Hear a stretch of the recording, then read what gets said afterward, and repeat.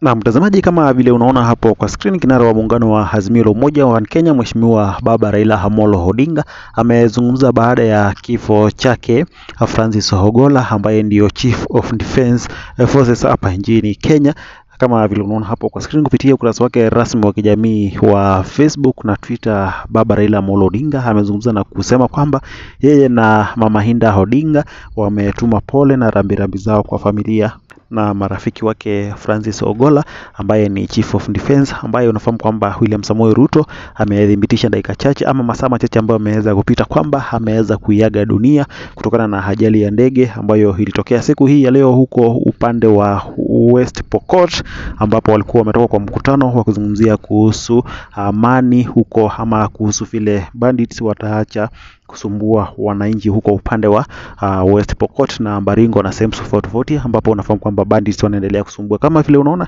Raila Odinga tayari amezungumza maneno ambayo unaona